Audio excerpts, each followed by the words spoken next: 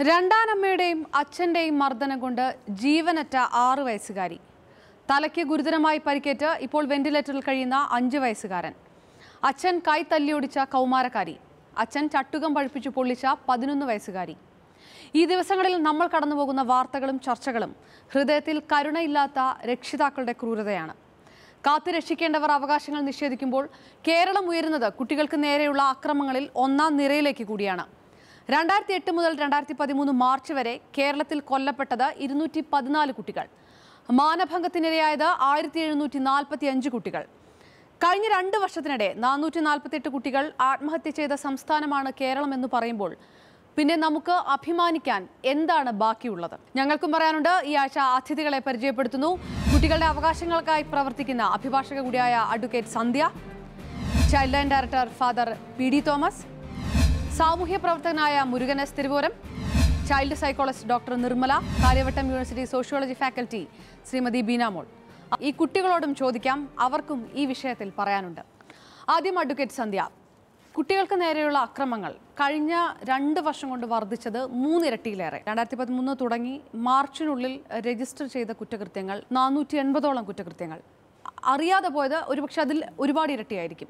മുതിർന്ന പൗരന്മാരെ പോലെ കുട്ടികൾക്കും ജീവിക്കാനുള്ള ഒരു അവകാശമുണ്ടെന്ന് മറന്നു പോവുകയാണോ നമ്മൾ നമ്മളിൽ ചിലർ? കുട്ടികൾ കുടുംബത്തിൽ സേഫ് അല്ലെങ്കിൽ പിന്നെ എവിടെയാണ് സേഫ്? എവിടെയാണ് സുരക്ഷിതം? നമ്മൾ എപ്പോഴും കരുതുന്നത് കുട്ടികൾ കുടുംബത്തിലാണ് സുരക്ഷിതരെന്നാണ് പക്ഷെ ഭയങ്കരമായി ഒരു ഒരു ഭീകരാവസ്ഥയാണ് കേരളത്തിലുള്ളതെന്ന് തന്നെ പറയാം. എവിടെ എന്താണ് ഇതിനൊരു പോംവഴി എന്നുള്ളത് ഒരു വലിയ പ്രശ്നം തന്നെയാണ്. ഈ ഒരു കഴിഞ്ഞ കാലഘട്ടം കൊണ്ട് ഇത്തരം കുറ്റകൃത്യങ്ങൾ കൂടുന്നുണ്ടോ? കുട്ടികൾ കൂടുതൽ അരക്ഷിതരാവുകയാണ്? ഇന്ന് കേരളത്തിൽ തെരുവുകുട്ടികളുടെ എണ്ണം ക്രമേണയായി കുറഞ്ഞിരിക്കുന്നു.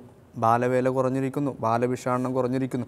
പക്ഷേ മറിച്ച് വീടുകളിൽ നിന്നുള്ള പീഡന വാർത്തകളാണ് നമ്മുടെ സമൂഹത്തിനെ ഞെട്ടിച്ചുകൊണ്ടിരിക്കുകയാണ്. തീർച്ചയായും. മുരുകൻ അതായത് മുരുകൻ പറഞ്ഞതുപോലെ അവിടെ നിന്ന് തുടങ്ങാം. ബാലവേല കുറഞ്ഞിരിക്കുന്നു ബാലഭിക്ഷാടനം കുറഞ്ഞിരിക്കുന്നു. തെരുവിലെ കുട്ടികൾ അരക്ഷിതരാണ് എന്നുള്ളൊരു ധാരണ തിരുത്തേണ്ട കാലമായിരിക്കുന്നു. ആയിരത്തിൽ കൂടുതൽ കുറ്റകൃത്യങ്ങൾ കുട്ടികൾക്ക് നേരെ നടക്കുന്ന ചുരുങ്ങിയ ചുരുക്കം സംസ്ഥാനങ്ങളിൽ ഒന്നാണ് കേരളം.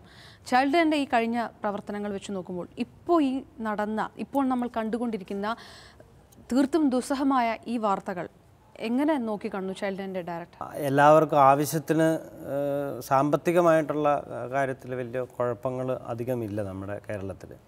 പക്ഷേ കുട്ടികളുടെ കുട്ടികളുടെ സംരക്ഷണത്തിന്റെ കാര്യത്തിൽ ഒത്തിരിയധികം ഇഷ്യൂസ് ഉണ്ട്. അത് സോഷ്യൽ ചേഞ്ചസ് ഒരു പ്രധാനപ്പെട്ട കാര്യമാണ്. സാമൂഹ്യ വ്യവസ്ഥയിലുള്ള മാറ്റങ്ങൾ കുടുംബത്തിലുള്ള മാറ്റങ്ങൾ.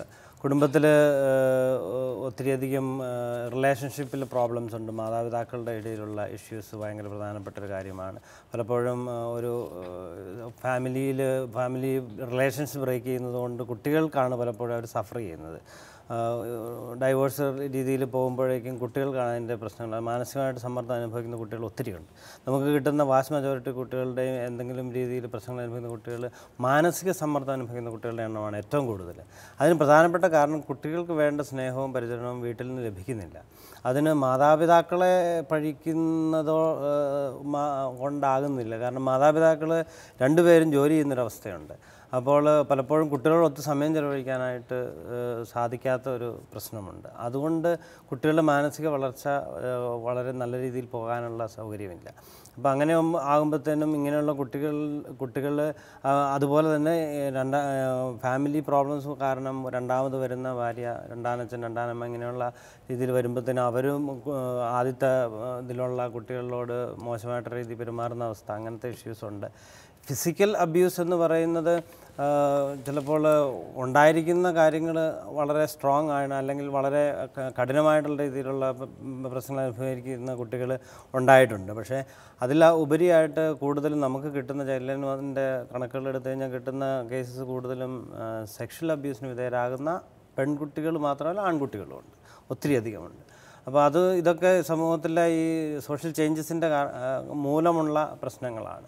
അത് ദൂരീകരിക്കുവാൻ അത് പ്രശ്നം പരിഹരിക്കുവാനായിട്ടുള്ള പ്രവർത്തനങ്ങൾ നമ്മൾ നിയമങ്ങൾ നിയമങ്ങൾ നമുക്കുണ്ടെങ്കിലും അത് പ്രാവർത്തികമാക്കുന്നതിനുള്ള പ്രോബ്ലംസ് അതിഥി നമ്പൂതിരി മരിച്ച ആറ് വയസ്സുകാരി ഷഫീഖിന് വേണ്ടി പ്രാർത്ഥിച്ചുകൊണ്ടിരിക്കുന്നു കേരളം മുഴുവൻ. ധാർമ്മികമായിട്ട് അത്തരം ഒരു ഒരു പ്രാഥമിക തലത്തിൽ പോലും അത്തരം ചില ധാർമ്മിക ബോധങ്ങളോ കാരുണ്യമോ ഇതൊന്നുമില്ല എന്ന് കാണിക്കുന്ന ആണോ ഇപ്പോഴത്തെ വാർത്തകൾ? രണ്ടാനമ്മ പോരൊക്കെ നമ്മൾ ഒരുപാട് ഇത് പുതിയ കാര്യമൊന്നുമല്ല. പക്ഷേ ഇത്രയ്ക്ക് മോശമായ തലത്തിലേക്ക് കാര്യങ്ങൾ പോകുമ്പോൾ കുട്ടികൾ അനുഭവിക്കുന്ന ഒരു വല്ലാത്ത മാനസിക സംഘർഷമായിരിക്കും. മാതാപിതാക്കൾക്ക് എന്തുകൊണ്ടാണ് ഇങ്ങനെ പീഡിപ്പിക്കാൻ തോന്നുക? അവിടെയാണ് നമ്മൾ മാനസികമായി വിശകലനം ചെയ്യേണ്ടത്. അപ്പോൾ ഇപ്പോൾ നമുക്കൊരു പനി വന്നാൽ ശാരീരികമായ ആരോഗ്യം അപ്പോൾ നമ്മൾ ഉടനെ ആശുപത്രിയിൽ പോകും. പക്ഷേ ഈ മാനസികമായിട്ട് എന്തെങ്കിലും ഒരു വൈകല്യം വന്നാൽ അതായത് പെരുമാറ്റ വൈകല്യം എന്നാണ് ഞാൻ ഉദ്ദേശിച്ചത്.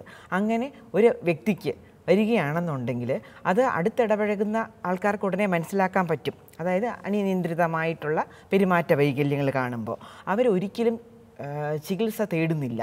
ചികിത്സ തേടുന്നില്ല അഥവാ എല്ലാവരും വിചാരിക്കുന്നത് പോലെ തന്നെ മാനസിക ചികിത്സയ്ക്ക് പോകാൻ വേണ്ടി ആർക്കും ഇഷ്ടവും ഉള്ളതല്ല കാരണം വേറൊരു തലത്തിലേക്ക് മുദ്രപ്പെട്ടു മുദ്ര കുത്തി പെടുന്നത് കൊണ്ടാവാം. പക്ഷേ എന്നിരുന്നാലും മാനസിക ആരോഗ്യം ശാരീരിക ആരോഗ്യം പോലെ തന്നെ വളരെ പ്രധാനപ്പെട്ടതാണ്. അപ്പോൾ അത് തൊട്ട് അടുത്തിടപഴകുന്ന അച്ഛനോ അമ്മയ്ക്കോ ഭാര്യയ്ക്കോ ഭർത്താവിനെ മനസ്സിലാക്കാൻ പറ്റുള്ളൂ.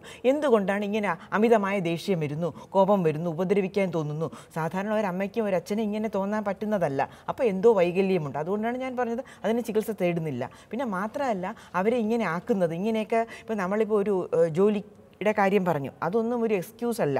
കാരണം നമ്മൾ അത് കഴിഞ്ഞ് തിരിച്ചെത്തുമ്പോൾ ഇപ്പോൾ നമ്മൾ അവർ കണ്ടു വരുന്നത് തന്നെയാണെങ്കിലും ടി വിയിൽ എല്ലാ എല്ലാ സീരിയലിൽ നോക്കുകയാണെങ്കിലും രണ്ടാനമ്മ മറ്റേ കുഞ്ഞിനെ എങ്ങനെയാകുന്നു എങ്ങനെ പീഡിപ്പിക്കുന്നു. ഇങ്ങനെയുള്ള കാര്യങ്ങൾ തന്നെ ഇപ്പോൾ നമ്മൾ അതായത് ഇപ്പോൾ നമ്മളിപ്പോൾ ഒരു ഇങ്ങനത്തെ ഒരു അറ്റ്മോസ്ഫിയറിൽ ഇത് തന്നെ സ്ഥിരം കണ്ടുകൊണ്ടിരിക്കുകയാണെന്നുണ്ടെങ്കിൽ അവർക്കറിയാത്ത നെഗറ്റീവ് ചിന്തകൾ വളരെ കൂടും. അപ്പോൾ നമുക്ക് തോന്നാം ഇപ്പോൾ ഈ നെഗറ്റീവ് ചിന്ത കണ്ടുകൊണ്ട് നമ്മളൊന്നും അങ്ങനെ ആവുന്നില്ല. പക്ഷേ ഈ മാനസിക നേരത്തെ ഞാൻ സൂചിപ്പിച്ചതുപോലെ മാനസിക വൈകല്യമുള്ളവർക്കാണെങ്കിൽ ഇത് കൂടുതൽ എഫക്റ്റഡ് ആകും. പുറത്തുനിന്ന് സാമൂഹിക അവകാശ പ്രവർത്തകർക്ക് ഈ വിഷയത്തിൽ എന്ത് ചെയ്യാൻ കഴിയും? സാധാരണയിൽ സാധാരണയായിട്ടുള്ള കുടുംബങ്ങളിലും അങ്ങനെയുള്ള ക്ലാസ്സുകളിലാണ് ഇത്തരത്തിലുള്ള പ്രശ്നങ്ങൾ. ഉണ്ടാകുന്നതെന്നാണ് ഈ അടുത്തുള്ള റിപ്പോർട്ടിൽ നിന്ന് മനസ്സിലാകുന്നത്. അതിന്റെ ഒരു ആഫ്റ്റർ ഇഫക്റ്റ് ഉണ്ട്. രണ്ട് കുട്ടികളെ നമ്മൾ കുട്ടികളുടെ കുട്ടിത്വം ഇല്ല എന്ന് തന്നെ ഇപ്പോൾ പറയാൻ പറ്റും. വേറെന്ന് പറഞ്ഞാൽ മദ്യത്തിന്റേതായിട്ട് നമ്മുടെ കുട്ടികളുടെ പ്രശ്നങ്ങളാണ് അത് കുടുംബത്തിന്റെ പ്രശ്നങ്ങളെന്ന് പറയുന്നതിന് മുമ്പ് തന്നെ ഇത് മദ്യം ലഹരിയുടേതായിട്ടുള്ളൊരു പ്രശ്നങ്ങളുണ്ട്. പിന്നെ അപക്വമായിട്ടുള്ള പാരന്റിങ് ബെറ്റർ പാരന്റിങ് ഇല്ല. പിന്നെ സാമൂഹ്യ സാമ്പത്തിക സാംസ്കാരിക മേഖലകളിൽ നിന്നുണ്ടായിരിക്കുന്ന മൂല്യച്യുതികളൊക്കെ തന്നെ കുട്ടികളുമായിട്ട് ബന്ധപ്പെട്ടുള്ള പ്രശ്നങ്ങളിൽ ഉണ്ട്. പിന്നെ ഇതിനുള്ള ഒരു സൊല്യൂഷൻ എന്ന് പറയുമ്പോൾ ഈ കുട്ടികളുടെ വിഷയങ്ങൾ ചർച്ച ചെയ്യാനായിട്ടൊരു പ്ലാറ്റ്ഫോം ഇല്ല എന്നുള്ളതാണ് ഗവൺമെന്റിന് ഒരുപാട് സംവിധാനങ്ങളുണ്ട്. ബാലസഭ പോലുള്ള സംവിധാനങ്ങൾ കുടുംബശ്രീ വഴി ഉണ്ടായ സംവിധാനങ്ങൾ പഞ്ചായത്ത് രാജ് സംവിധാനങ്ങൾ. പക്ഷേ ഇതൊന്നും മെച്ചമായിട്ടുള്ള അവസ്ഥയല്ല. ഒരുപാട് സമിതികളും സ്ഥാപനങ്ങളും ഉണ്ട്. അവരൊക്കെ എന്ത് ചെയ്യുകയാണ്? കേരളത്തിലെ രാഷ്ട്രീയ പാർട്ടികളുടെ ഘടകകക്ഷികളുടെ ആളുകളെ തൃപ്തിപ്പെടുത്തുന്നതിന് വേണ്ടി ഇത്തരം വകുപ്പുകൾ കുട്ടികളെക്കുറിച്ച് യാതൊരു നോളജും ഇല്ലാത്ത ആളുകൾ. സ്ത്രീകളുടെ ഇടയിൽ പ്രവർത്തിച്ച് പരിചയമില്ലാത്ത ആളുകൾ. ഇത്തരം ആളുകൾക്ക് കൊണ്ടുപോയിട്ടാണ് ഈ ഘടകകക്ഷികളെ തൃപ്തിപ്പെടുത്താൻ വേണ്ടിയാണ് ഈ വകുപ്പുകൾ അല്ലെങ്കിൽ ഇത്തരം കുട്ടികളുമായി ബന്ധപ്പെട്ട് നിൽക്കുന്ന. ഇപ്പോൾ ഈ ജില്ലയിൽ തന്നെ കേരളത്തിലെ മുഴുവൻ ജില്ലയിൽ തന്നെ ഏകദേശം എനിക്ക് തോന്നുന്നു പതിനാല് ചൈൽഡ് വെൽഫെയർ കമ്മിറ്റി ഉണ്ട്. ഞാൻ ആ രാഷ്ട്രീയ പാർട്ടിയുടെ പേരുകളൊന്നും പറഞ്ഞു ഈ കഴിഞ്ഞ കഴിഞ്ഞ കാലങ്ങളിൽ നമുക്ക് മനസ്സിലാക്കാൻ കഴിഞ്ഞത് ഇവിടെ ഇപ്പോൾ ഈ ചൈൽഡ് വെൽഫെയർ കമ്മിറ്റി നിലവിൽ വരികയാണെങ്കിൽ തന്നെ ഒന്നില്ലെങ്കിൽ രാഷ്ട്രീയ പാർട്ടികളുടെ താല്പര്യമുള്ള അവരുടെ പാർട്ടിയുടെ ഏതെങ്കിലും ഒരാൾക്ക് കൊടുക്കും ചെയർമാൻ സ്ഥാനം. ഒന്ന്. രണ്ട്. ഏത് ജില്ലയിൽ ഏത് സംഘടനയാണോ മികച്ചു നിൽക്കുന്നത് ആ സംഘടനയുടെ ഭാരവാഹിക്കാണ് പിന്നെ കൊടുക്കുന്നത് അതിലും ഒരു ഹിഡൻ അജണ്ടയുണ്ട്. ഈ അജണ്ടകളൊക്കെ നിറവേറുമ്പോൾ യാഥാർത്ഥ്യത്തിൽ പ്രവർത്തിക്കുകയും യാഥാർത്ഥ്യത്തിൽ കുട്ടികൾക്ക് വേണ്ടി പ്രവർത്തിക്കുന്ന ആളുകളെല്ലാം പിന്തള്ളപ്പെടുകയും മറ്റു ലാഭങ്ങൾക്ക് വേണ്ടി ആഗ്രഹിക്കുകയും പ്രവർത്തിക്കുകയും ചെയ്യുന്ന ആളുകളാണ് ഇതിലേക്ക് വരുന്നത്. അതിഥി നമ്പൂതിരിയുടെ കൊലപാതകത്തിന് ഉത്തരവാദികളായ അച്ഛനും രണ്ടാനമ്മയും ഷഫീഖിനെ ഈ അവസ്ഥയിലാക്കിയ അച്ഛനും രണ്ടാനമ്മയും. നിയമം എത്രത്തോളം കർക്കശമാണ്? അല്ലെങ്കിൽ ഇവരൊക്കെ എളുപ്പത്തിൽ രക്ഷപ്പെടില്ലേ നിയമത്തിന്റെ നിയമത്തിന്റെ കുരുക്കളിൽ നിന്ന്? ഞാൻ മനസ്സിലാക്കുന്നത് അവർ ഐ പി സി ഒഫൻസ് അനുസരിച്ച് കേസ് ചാർജ് ചെയ്തിട്ടുണ്ട്. അവർ സാധാരണ അഡൽസിനെ എങ്ങനെയാണോ കുറ്റകൃത്യം വിചാരണ ചെയ്യുന്നത് ആ രീതിയിൽ കൂടെ അവർ ശിക്ഷിക്കപ്പെടുമെന്ന് തന്നെയാണ് എനിക്ക് തോന്നുന്നത്. അതിനകത്ത് വേറെ ഒരു ഒരു നിയമത്തിന്റെ ഒരു അഭാവം ഒരു ഇതിനകത്ത് കാണുന്നില്ല. ഈ നിയമം കൊണ്ട് ഇവരെ ഒന്നും ശിക്ഷിക്കാൻ പറ്റില്ല. ഇപ്പോൾ നമ്മൾ ചില ആൾക്കാർ ദേഷ്യത്തിൽ പറയാറുണ്ട് അവനെയൊക്കെ വെടിവെച്ച് കൊല്ലണമെന്ന് പറയാറുണ്ട്. അങ്ങനത്തെ ഒരു നിയമമല്ല ഉദ്ദേശിക്കുന്നത്. പക്ഷേ ഇതിന്റെ അകത്ത് ഞാൻ പറയുന്നത് ഒരു വർഷം ആറ് മാസത്തിനുള്ളിൽ ഇതിന്റെ കുറ്റപത്രം കോടതിയിൽ സമർപ്പിച്ച് അടിയന്തരമായിട്ട് ഈ ഇവ ഈ ഇത്തരം കേസുകളെ മാത്രം പരിഗണിക്കുന്നതിന് വേണ്ടി കോടതികൾ കൊണ്ടുവരണം. പുനർവിവാഹം കഴിക്കാനാണ് എല്ലാവരും ആഗ്രഹിക്കുന്നത്. കുട്ടികളുടെ അഭിപ്രായം എന്തെന്നും അവരെ മാനസികാവസ്ഥ എന്തെന്നും അവർ ആഹാരം കഴിച്ചോ പഠിച്ചോ എന്നൊന്നും ആരും തിരക്കുന്നില്ല. കൂടുതലായും അച്ഛൻ രണ്ടാനമ്മമാരാണ് തീരെയും പിള്ളേരെ അംഗീകരിക്കാതെ വരുന്നത് കുട്ടികൾ പല രീതിയിലുള്ള പ്രശ്നങ്ങൾ ഒരുപാട് കുട്ടികളെ പരിചയമുണ്ട് ഒരുപാട് വർഷങ്ങളായിട്ട് ഈ രംഗത്ത് നിൽക്കുന്നു. ഇ- ഇത്രയ്ക്ക് മോശമായ അനുഭവങ്ങൾ നേരിടേണ്ടി വന്നിട്ടുള്ള കുട്ടികൾ കുട്ടികളെ പരിചയപ്പെട്ടിട്ടുണ്ടോ? ഫാദറിന് അത്തരം എന്തെങ്കിലും അനുഭവങ്ങൾ പ്രേക്ഷകരോട് പറയാനുണ്ടോ? കഴിഞ്ഞ ഒരു മൂന്നും നാല് മാസത്തിൽ നമ്മൾ ഡീൽ ചെയ്തിട്ടുള്ള കേസിൽ മജോറിറ്റി കേസുകളിലും കണ്ടിരിക്കുന്ന ഒരു കാര്യം എന്ന് വെച്ച് കഴിഞ്ഞാൽ ഈ മാതാപിതാക്കളുടെ മെന്റൽ ഹെൽത്ത് പ്രോബ്ലംസ് ഇത്ര മോശമായ അനുഭവങ്ങൾ ഉണ്ടായിട്ടുള്ള കുട്ടികളെ നേരിടേണ്ടി വന്നിട്ടുണ്ട്. ഞാൻ സെക്ഷൽ അബ്യൂസ് റിലേറ്റഡ് ആയിട്ടുള്ള കേസസാണ് നമുക്ക് ആക്ച്വലി കൂടുതൽ വന്നിരുന്നത്. ഞാൻ ഞാൻ തുടക്കത്തിൽ പറഞ്ഞതുപോലെ തന്നെ ഫിസിക്കൽ അബ്യൂസ് സാധാരണ ചെറിയ രീതിയിലുള്ള കാര്യങ്ങളൊന്നും സാധാരണ വീട്ടിൽ തന്നെ അത് അത് ഹാൻഡിൽ ആകുന്നു പലപ്പോഴും ഇങ്ങനെ എക്സ്ട്രീം ആയിട്ടുള്ള രീതിയിലുള്ള പീഡനങ്ങൾക്ക് വിധേയരാകുന്ന കുട്ടികളുടെ കേസാണ് പത്രത്തിലും മാധ്യമങ്ങളിലും വരിക. പണ്ട് പ്രശ്നങ്ങളുണ്ടെങ്കിൽ ഫ്രണ്ട്സിന്റെ അടുത്ത് പറയും അല്ലെങ്കിൽ ടീച്ചേഴ്സ് അത് നമ്മൾ പറയാതെ മനസ്സിലാക്കും. ഇപ്പോഴത്തെ കുട്ടികൾക്ക് ഈ പ്രശ്നങ്ങൾ വിദ്യാലയങ്ങളെയോ ആ, കൂട്ടുകാരെയോ ഒന്നും ആശ്രയിക്കാൻ പറ്റുന്നില്ലേ? കഴിയുന്നില്ല എന്ന് തന്നെ നമുക്ക് പറയാൻ പറ്റും. കാരണം ഇപ്പോൾ അച്ഛൻ പറഞ്ഞതുപോലെ നമ്മൾ വളരെ നമ്മുടെ ഉള്ളിലേക്ക് വളർത്തിയ കുട്ടികളെ. പഴയ വീടുകൾ അങ്ങനെയെന്ന് ഉമ്മറൊക്കെ വലിപ്പമുള്ള. ഇന്നത്തെ നമ്മുടെ ഉമ്മറൊക്കെ വളരെ ചെറുതാണ് കാരണം നമ്മൾ ഒന്നും സ്വീകരിക്കാൻ നമ്മുടേത് മാത്രം എന്നുള്ളൊരു ചിന്ത. ഇത് തീർച്ചയായിട്ടും കുട്ടികളിലുണ്ട്.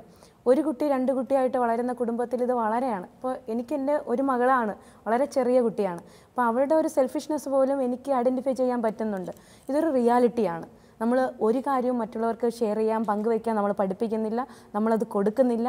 ഈ ഒരു വാല്യൂസിന്റെ തകർച്ച എന്ന് പറയുന്നത് തീർച്ചയായിട്ടും ഈ കുട്ടികൾ റിഫ്ലക്റ്റ് ചെയ്യുന്നു എന്നുള്ളത് യാഥാർത്ഥ്യമാണ്.